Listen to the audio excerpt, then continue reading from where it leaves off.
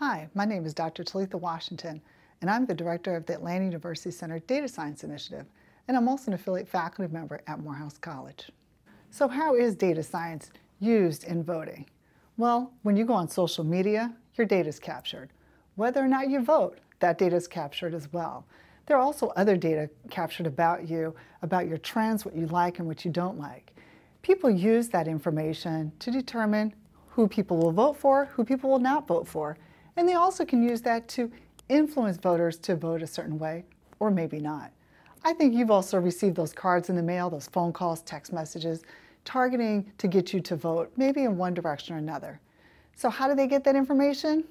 They get your information by using data and data science techniques to determine how they can target these advertisements to perhaps get you to vote a certain way. So data science is used a lot in voting, and it's also used to determine how do you draw the district lines. Now, sometimes when people draw these voting district lines, they do it in a way that disenfranchises a racial group or another. In that case, we call that racial gerrymandering. So there are certain things that we need to be careful about when we employ data science and how it, how it is then used to influence voting or who votes. So be careful about the information you put out there. And also be careful when you look at the statistics because they may not tell you everything. You look at the television, they say things will go a certain way or another. It really comes down to who you vote for in the election. So remember, when you go out and vote, look at the candidates. Do your own data capturing.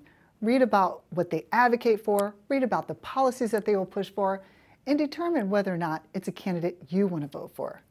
Because when you cast your ballot on election day or even before, you're casting a data point. And just remember that your data too is dope. So go vote.